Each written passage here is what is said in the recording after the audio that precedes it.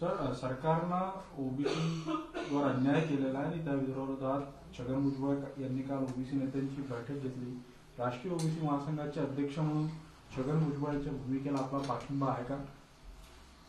नाही सध्या तरी मी जेवढ्या कागदपत्रांचा अभ्यास केला जी कागदपत्र पंचवीस तारखेला आणि सव्वीस तारखेला सरकारने निर्गमित केले त्या दोन्ही कागदपत्राचा अभ्यास केल्यावरती माझ्या मते वैयक्तिक त्यांचं काय मत ते वेगळं असू शकते.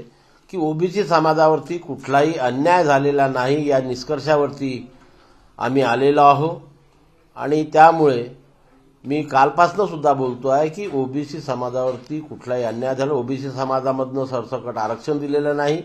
सरसकट कुणब्यांचे प्रमाणपत्र देण्याचे आदेश सुद्धा सरकारने काढलेले नाही.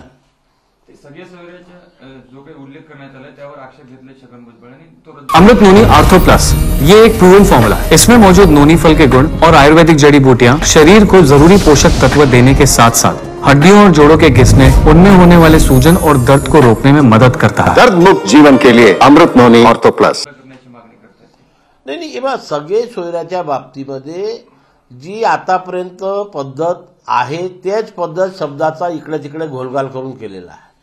की वारंवार मी सांगत होतो आपल्याला की पितृसत्ताक पद्धतीमध्ये वडील आजोबा आणि पंजोबा यांच्या महसुली किंवा शैक्षणिक कागदपत्रामध्ये कुणबी जातीची नोंद असेल तर त्या संपूर्ण कुटुंबाला कुणबी जातीचे म्हणजेच पर्याने ओबीसीचे प्रमाणपत्र देता देण्याचा कायदा आहे. तोच आजही आहे. त्यांनी आता फक्त काय केलं की वडील आजोबा पंजोबामध्ये काका आणि पुतण्या शब्द टाकले.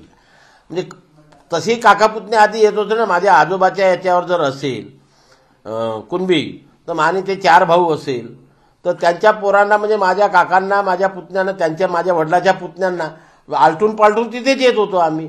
तेच शब्दप्रयोग इकडे आणि पितृसत्ताक पद्धती कायम ठेवलेली आहे. मातृसत्ताक पद्धतीचा कुठेही उल्लेख केलेला नाही. त्याच्यामुळे नव्याने काही म, सरकारने जाहीर केलं हे मला वाटत नाही मी त्या निष्कर्षावरती नाही.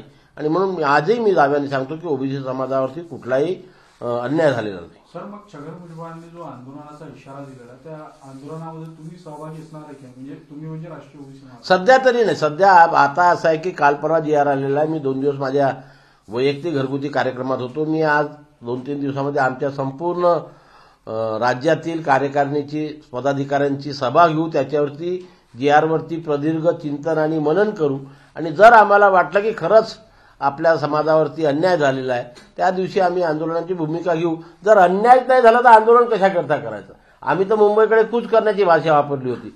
पण आज आम्हाला असं वाटतं की आमच्यावरती कुठेही अन्याय झालेला नाही. त्याच्यामुळे सध्या तरी आमचा कुठल्याही आंदोलनाचा विचार नाही आहे.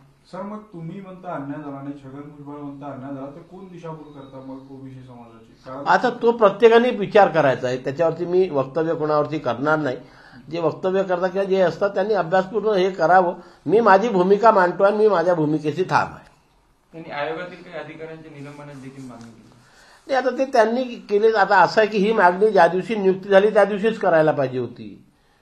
काय? आज करणं सर्व काम सुरू झालं हे झालं ना आज करायचं. म्हणजे ते मला ते योग्य वाटत नाही.